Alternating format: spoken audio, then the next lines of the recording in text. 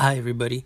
So for today's video, we will be destroying five Nutcracker statues. Now the nice thing is that these statues will each spawn at a Snowmando outpost. We do have one outpost right over here by Steamy Stacks. The second one is over here by Pleasant Park. The third one is over here by Holly Hedges right near Logjam Woodworks. And then we have the other one right over here by Hydro 16. Uh, right there. And finally, we have the one by Catty Corner over the, it should be, yeah, it should be this one right here. So those are where Nutcracker statues can spawn. And one of the nice things about this challenge is it is party assisted. So if you head into a squads match, as you can see here, my son destroyed one of the statues and it gave both of us the challenge. You could each spawn at a separate Snowmando outpost and you could get the challenge done in less than a minute. However, if you don't have a squad to play with and you have to do this solo, here are more locations if you don't want to bother going to a Snowmando outpost. Now this is the Snowmando outpost by Hydro 16. This is a good one because it spawns three Nutcracker statues.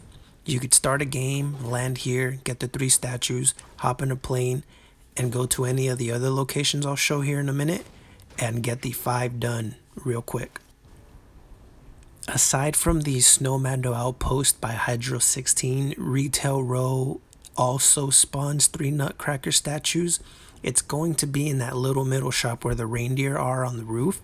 Right inside, there's going to be one right there. There's going to be another one to your right. And then I, yeah, I ended up grabbing the chest. Boop, boop, boop, boop, boop, boop. Any minute now, Chris. Okay, and there's the third one. So this is another good area. And like I was saying earlier, if you don't want to be bothered landing at the Snowmando outpost, either because you don't want to deal with all the people landing there, there's going to be other options. So I'll show you where all the other Nutcracker statues can spawn. We're going to land here at Catty Corner, and we are going to steal a plane. Which one has the most fuel? This one has the most fuel. Alright, so let's skedaddle out of here.